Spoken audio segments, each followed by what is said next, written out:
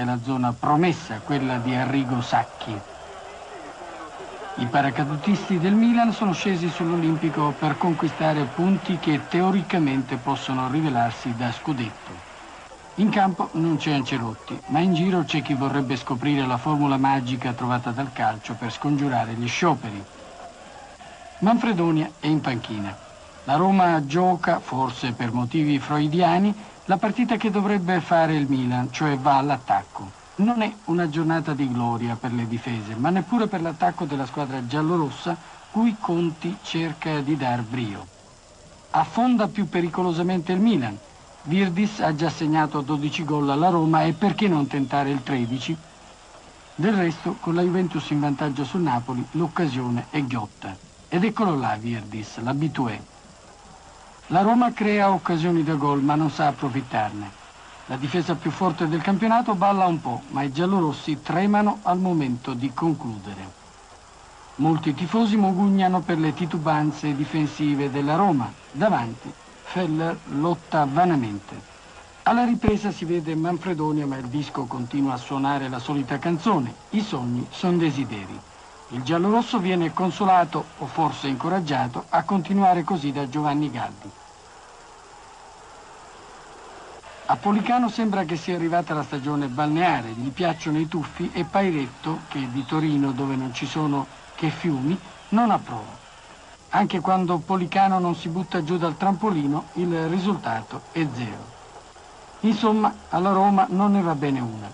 Virdis potrebbe raddoppiare per la verità. Traversa. Ma guardate Giannini, distorsione al ginocchio, per fortuna non grave. Ormai alla Roma manca anche il cervello. Con Pruzzo non succede quasi nulla, la Roma resta a secco ed il finale è tutto del Milan che con Massaro, subentrato a Donadoni, potrebbe anche raddoppiare. Poi ci riesce davvero, con la difesa giallorossa pressoché sguarnita e la partita finisce praticamente qui. Se i rossoneri avessero segnato anche il terzo gol, sarebbe stata offesa al pudore. Manfredonia parla del periodaccio giallorosso.